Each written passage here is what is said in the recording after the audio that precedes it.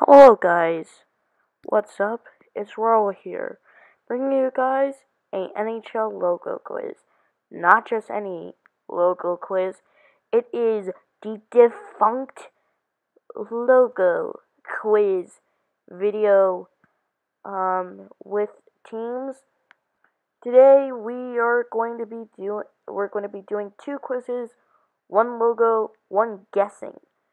Now, I'm going to talk about some NHL for a little bit. The NHL was was born in 1917 after the procedure of the NHA. Um, four teams came about into this league. The NH um the Montreal Wanderers, the Montreal Maroons, the Montreal Canadiens, the Quebec Bulldogs. Yes, there were three Montreal teams. So then, they proceeded to build up more with the addition. No, wait, the no, that's not right. Ottawa Senators, Montreal Wanderers. Yeah, it's yeah. Sorry, Ottawa Senators instead of the Montreal Maroons. So anyway, after some expansion, we were left with the Boston Bruins.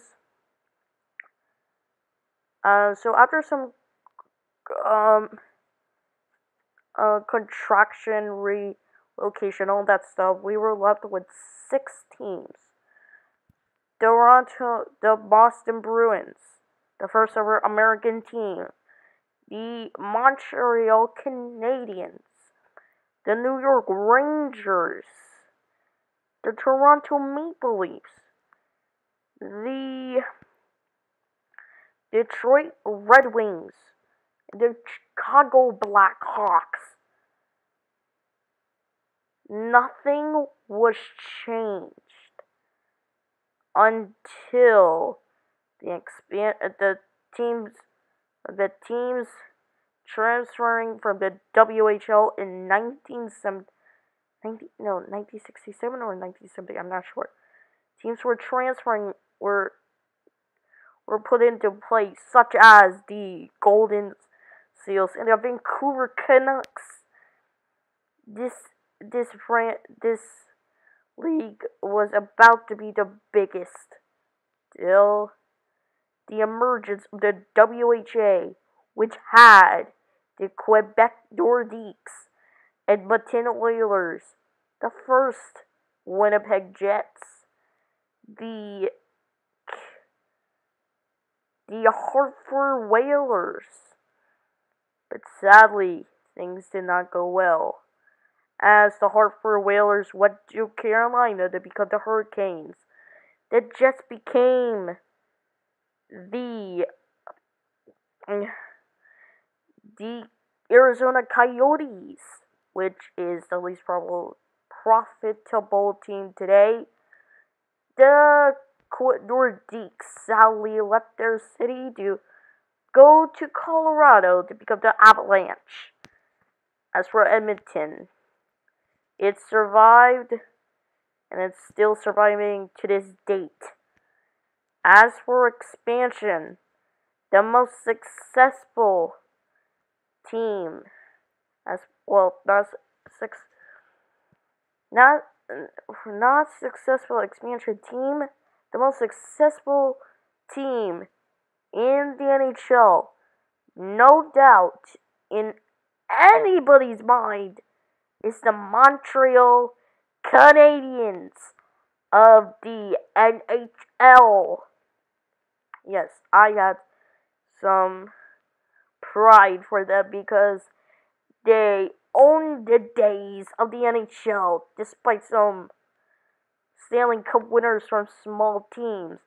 But now, since the Montreal Canadiens are out of the way, new teams are on the rise, such as the Boston Bruins, who only sadly won one Stanley Cup. Uh, the Pittsburgh Penguins, the Chicago Blackhawks, who are part of the uh the uh the not the Nashville Predators, sadly, who had been to the finals but lost. Us a little emergence for the Los Angeles Kings defeated the Rangers. Uh, there is still hope for the Canadiens to come back. For now, they're struggling hard.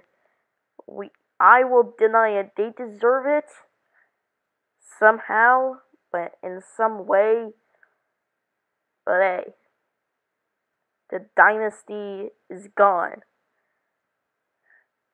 There was once an emergence of the Re- Detroit Red Wings, who were the most successful team in sports to win the President's Trophy and win the Stanley Cup in the same year. Note that in mind. Note that in mind that they did that successfully. I said that successfully did it. Most times, pre- uh, people who win the President's Trophy lose in the playoffs or in the finals, such as the Can- Vancouver Canucks, who lost in the finals to the Boston Bruins. Yeah, I told a lot. So you can see here, I am done with this quiz, and I was done with the previous quiz. I told a lot. Yes, I told a lot. And now, since there's a new team in Seattle in the 2020 season or 2021 season, we can expect hockey back in Seattle since the days of the Seattle Metropolitans of the PSHA who folded in 19 I know 1970. Anyway, thank you all so much for watching your Legends in My Books and peace.